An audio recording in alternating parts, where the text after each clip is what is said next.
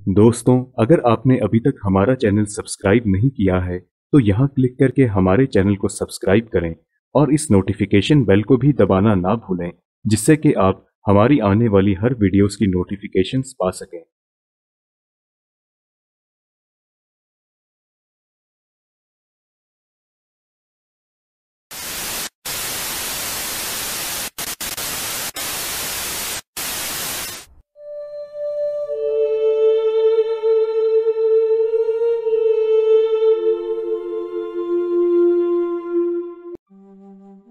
दोस्तों, जैसा कि आप जानते हैं कि पिछले काफ़ी समय से कोरोना वायरस के चलते दुनिया भर में हड़कंप मचा हुआ है, जिस कारण पूरी दुनिया में लॉकडाउन हो चुका है। इस वायरस के संक्रमण के सबसे अधिक मामले चीन, इटली, ईरान और कोरिया में सामने आए हैं। दुनिया भर के वैज्ञानिक इस पर दिन रात रिसर्च कर रहे हैं। आज की हमारी वीडियो कोरोना वायरस पर ही आधारित है। कोरोना वायरस का पहला मामला बीते साल दिसंबर में चीन के वुहान में सामने आया था, जिसके बाद से ये वायरस धीरे धीरे दुनिया के 168 देशों में फैल चुका है। इसे लेकर दुनिया भर में सरकारें अपने नागरिकों को सतर्क कर रही हैं और इस वायरस के संक्रमण से बचने के लिए जानकारी साझा कर रही है। दुनिया भर में कोरोना वायरस से अब तक बयालीस हज़ार से भी अधिक लोगों की मौत हो चुकी है।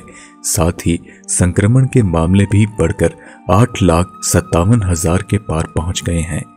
हमारे देश भारत में कोरोना वायरस संक्रमण के 1500 से भी अधिक मामले सामने आए हैं और अब तक 40 से 50 लोगों की मौत हो चुकी है।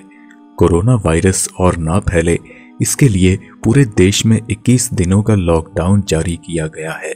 कोरोना वायरस से मरने वालों की संख्या को देखा जाए तो ये बेहद कम है।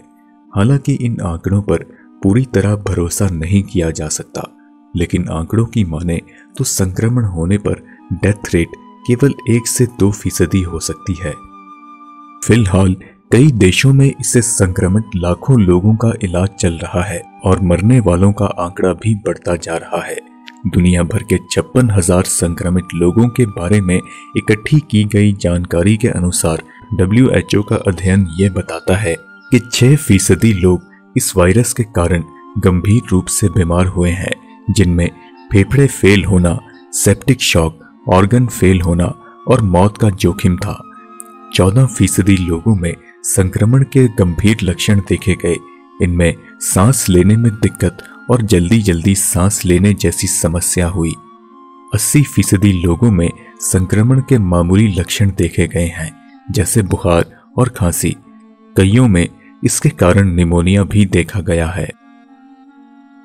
इंसान के शरीर में पहुँचने के बाद कोरोना वायरस उसके फेफड़ों में संक्रमण करता है। इस कारण सबसे पहले उसे बुखार, उसके बाद सूखी खांसी आती है। बाद में सांस लेने में समस्या हो सकती है। इसके लक्षण दिखने में औसतन पाँच दिन लगते हैं। हालाँकि वैज्ञानिकों का कहना है कि कुछ लोगों में इसके लक्षण बहुत बाद में भी देखने को मिल सकते हैं। डब्ल्यूएचओ के अनुसार वायरस के शरीर में पहुँचने और लक्षण दिखने के बीच 14 दिनों तक का समय हो सकता है। हालाँकि कुछ शोधकर्ता ये मानते हैं कि यह समय 24 दिनों तक का भी हो सकता है। कोरोना वायरस उन लोगों के शरीर में अधिक फैलता है जिनमें इसके संक्रमण के लक्षण दिखाई देते हैं, लेकिन कई जानकार मानते हैं कि इंसान को बीमार करने से पहले भी ये वायरस फैल सकता है। बीमारी के शुरुआती लक्षण सर्दी और जुकाम जैसे ही होते हैं, जिससे कोई आसानी से भ्रमित हो सकता है। अब हम आपको बताते हैं कि कोरोना वायरस के संक्रमण से बचने के लिए क्या क्या किया जा सकता है। कोरोना वायरस, यानी कोविड 19 से बचने के लिए आप नियमित रूप से अपने हाथ साबुन और पानी से अच्छे से धोएँ।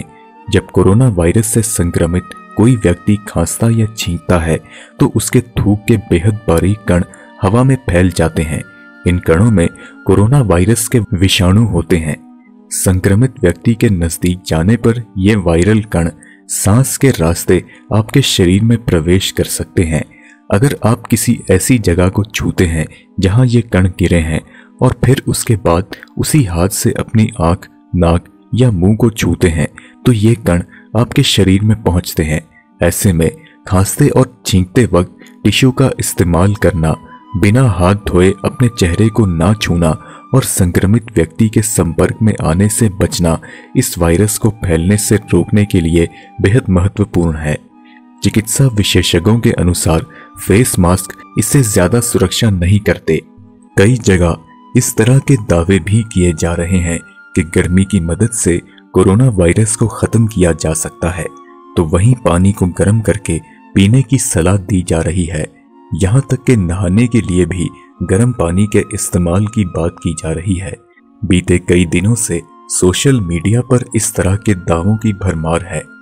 एक पोस्ट जिसे कई देशों में हज़ारों लोगों ने शेयर किया है, उसमें दावा किया गया है कि गर्म पानी पीने और सूरज की रोशनी में रहने से इस वायरस को मारा जा सकता है।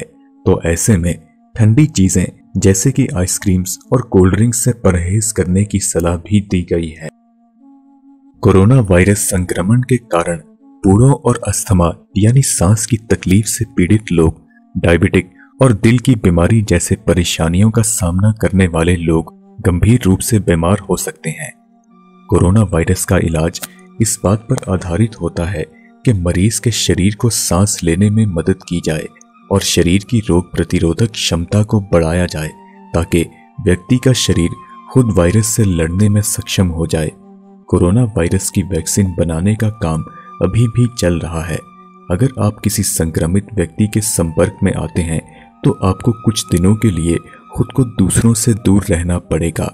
पब्लिक हेल्थ इंग्लैंड ने यह कहा है कि जिन्हें लगता है कि वह संक्रमित हैं, वो डॉक्टर, फार्मेसी या अस्पताल जाने से बचें और अपने इलाके में मौजूद किसी हेल्थ स्पेशलिस्ट से फ़ोन पर या ऑनलाइन जानकारी लें। जो लोग दूसरे देशों की यात्रा करके वापस लौटे हैं, उन्हें सलाह दी गई है कि वह कुछ दिनों के लिए खुद को दूसरों से अलग कर लें।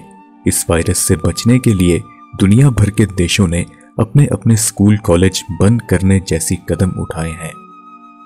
संक्रमण के लक्षण दिखने पर व्यक्ति को अपने स्थानीय डॉक्टर से संपर्क करना चाहिए। जो लोग बीते दिनों कोरोना वायरस संक्रमित व्यक्ति के संपर्क में आए हैं, उनकी जाँच की जाएगी। अस्पताल पहुँचने वाले सभी मरीज़, जिनमें सर्दी जुकाम और सांस लेने में तकलीफ़ के लक्षण हैं, डॉक्टर उनका परीक्षण करेंगे। परीक्षण के नतीजे आने तक आपको इंतज़ार करने और दूसरों से खुद को दूर रखने के लिए कहा जाएगा। रोज दुनिया भर में कोरोना वायरस के सैकड़ों मामले सामने आ रहे हैं। लेकिन ये भी माना जा रहा है कि अब भी कई मामले हेल्थ एजेंसीज की नज़र से बच चुके हैं। दोस्तों, आप डिस्क्रिप्शन में दी गई वेबसाइट वर्ल्डोमीटर डॉट कॉम पर जाकर चेक कर सकते हैं कि दुनिया भर के हर एक देश में कोरोना वायरस के कितने केसेस दर्ज हुए हैं, कितनों की मौत हुई है और कितनों की जानें बची हैं। आप मेरे इंस्टाग्राम अकाउंट पर मुझे फॉलो कर सकते हैं, जहाँ पर आप मुझे पर्सनली मैसेज भी कर सकते हैं।